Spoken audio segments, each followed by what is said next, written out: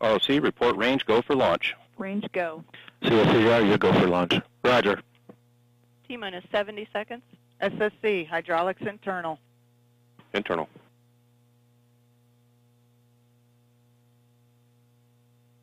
T minus 60 seconds. LCDR, T minus 60 second limits on. On. Water flow.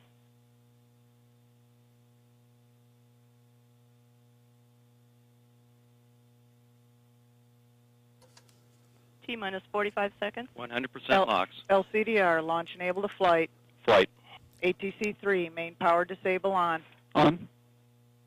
T minus 35 seconds. Hydraulics are go.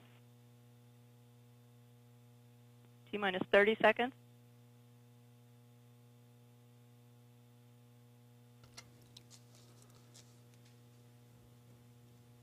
T minus 20 seconds. T minus 15 seconds until 15, launch. Topping go. 14, 13, 12. T minus 10, 9, 8, 7, 6, 5, 4, 3, 2, 1. And we have liftoff. Liftoff of a Delta II rocket carrying GeoEye-1, the world's highest resolution commercial Earth imaging satellite. See our world better than ever.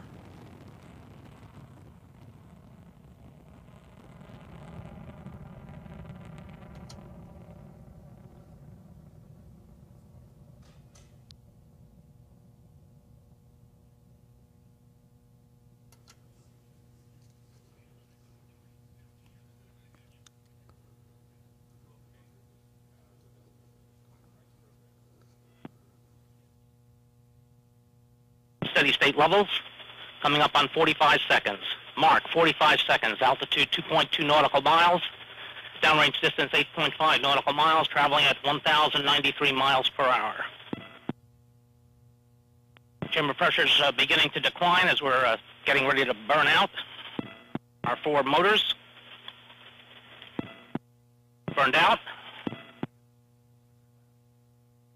Be holding on uh, to those uh, four motors uh, for about 10 more seconds uh, as we're preparing to jettison. Make sure we have a good impact point. Standing by for separation of those uh, air-lit and correction, those uh, ground-lit motors. And we have a jettison of the four solid motors, one, two, six, and nine. You're listening to One Steve minute, Agid. 36 seconds into the flight. Altitude now 16.6 nautical miles. Downrange distance 4.7 nautical miles, traveling at 1,420 miles per hour. And Steve's in the telemetry lab, keeping up with everything Engine, going uh, on with the mission. chamber pressure's continuing to look rock solid. Vernier chamber pressure also good.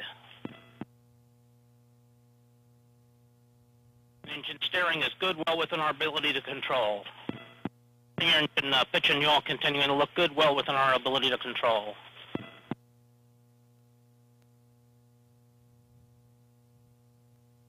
Two minutes, 15 seconds into the flight.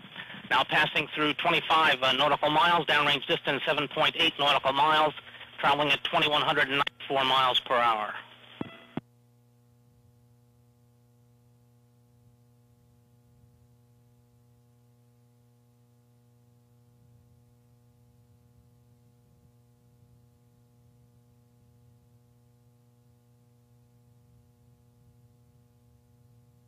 Main engine uh, chamber pressure is a very good solid state level, good steady state level.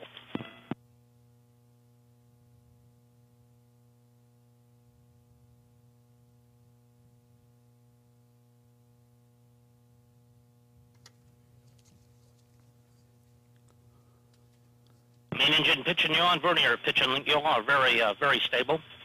Very little engine movement. Coming up on uh, 3 minutes, 11 seconds into the flight. Uh, altitude now passing 37.2 nautical miles. 51 nautical miles downrange, traveling at 4,590 miles per hour.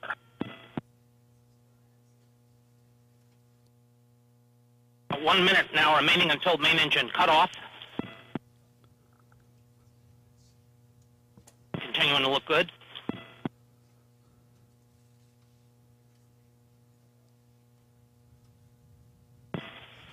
Hydraulic uh, system pressure is good.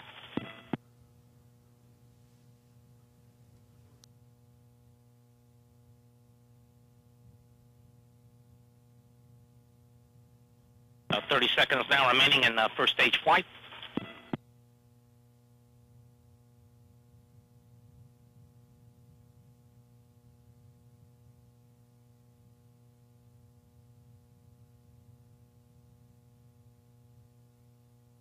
Fifteen seconds now until MECO.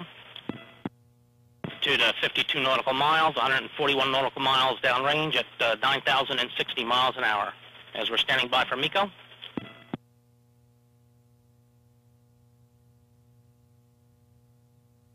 And we have dropped on chamber pressure on the main engine.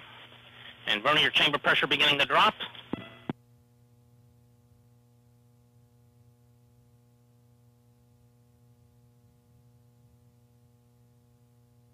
We got separation. Second stage chamber pressure beginning to build. Second stage burn underway.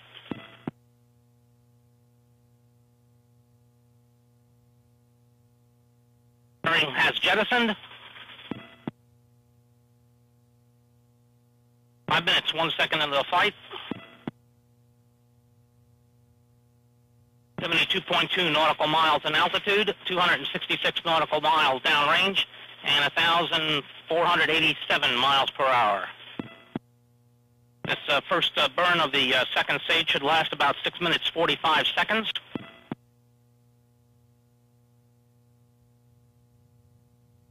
Looking at our comparison times for our mission events, uh, all mission events occurred very, very close to their expected time.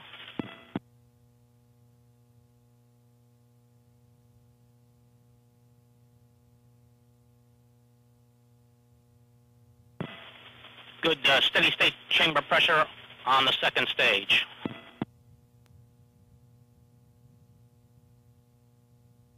A little over one minute into that second stage burn. There are five and a half minutes remaining.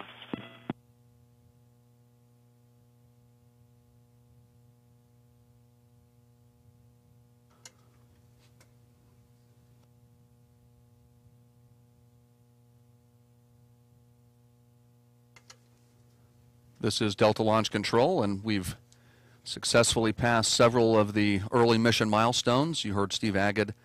He let us all know that we've had successful MECO and jettison of the fairing as well. So everything uh, on track, everything going as planned at this point. This is Delta Launch Control as we continue to monitor the Delta 2 mission carrying GeoEye-1 for GeoEye.